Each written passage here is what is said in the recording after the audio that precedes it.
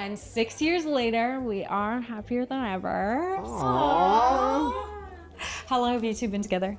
Oh, oh, it's no, no, we're not. no, it's a it's a different kind of relationship. No commitments. Friends with benefits. Okay, then. So, like, what kind of benefits? Oh, well, you know, like the traditional ones. Like she provides dental insurance and matches my 401k contributions. And we share a Costco membership so that we can just buy things in bulk and then split them. You gotta do what you can to survive in this economy. Right. He'll also house sit for me when I'm out of town. It's my pleasure, really. She has one of those bidet attachments. He adores that thing. I really do.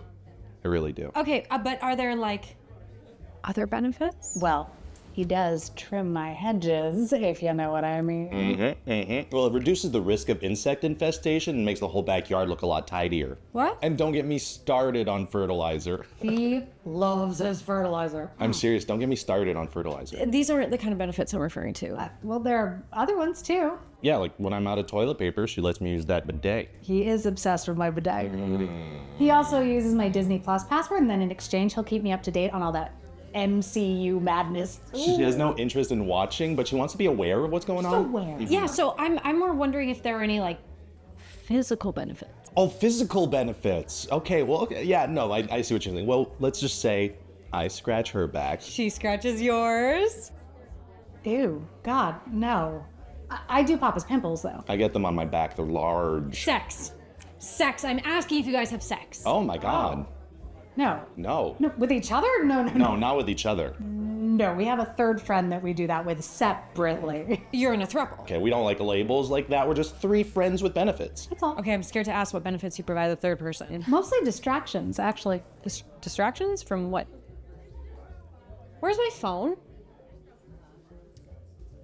Damn you, friends with benefits!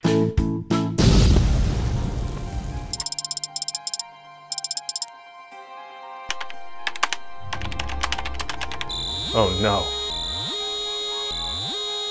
Oh no. Sir. Hi there, hello. Hi there, hello. Sir, there was some non Ryan activity detected in the sketch that just played.